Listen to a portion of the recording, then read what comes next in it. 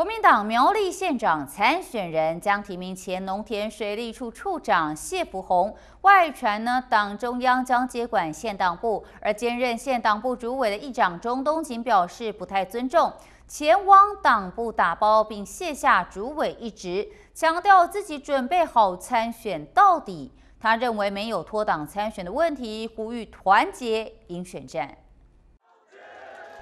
在大批支持者簇拥之下，苗栗县议长钟东锦以沉重步伐踏进县党部办公室，并宣布正式卸下国民党苗栗县党部主委。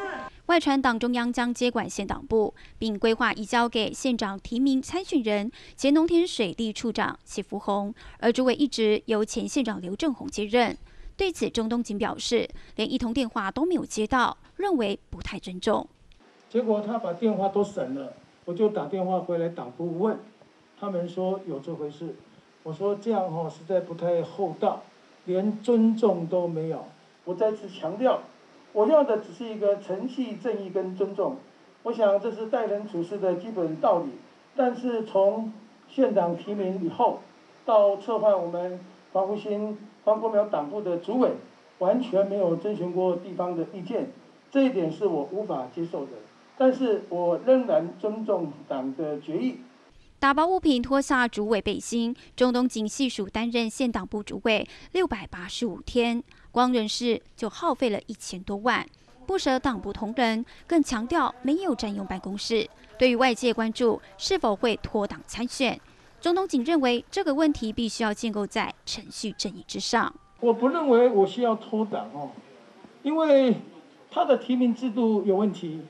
我要这样讲哦，南投县用民调，新竹市用议员投票，澎湖县用民调，连江县开放，桃园用征招，每个县市的方法没有一致，这个怎么会是一个制度呢？党是大家的，不是谁的。不管现在谁在党中央，他只是暂时的哈。我热爱我的国民党，我不愿意离开。如果他撤销我的党籍，我可能会考虑采取法律的行动。